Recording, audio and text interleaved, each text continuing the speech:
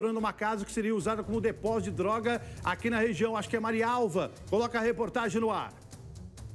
Uma grande apreensão de drogas realizada pelo setor antitóxico da Polícia Civil de Maringá. Os entorpecentes foram encontrados em uma casa na cidade de Marialva.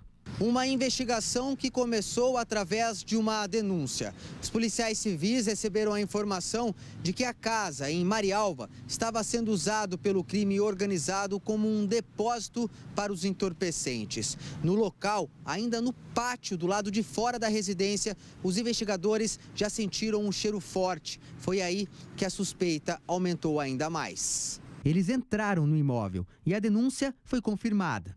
Uma farta quantidade de drogas: maconha, cocaína, crack e rachixe.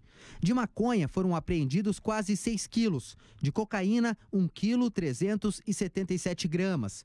221 gramas de crack e 46 de rachixe.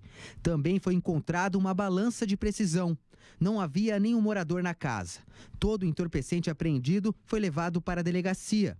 A polícia vai continuar investigando. Quer identificar quem é o dono do imóvel e descobrir qual seria o destino da droga ou saber se o local funcionava como um ponto de venda do tráfico. É, pelo jeito aí era o depósito da droga, né?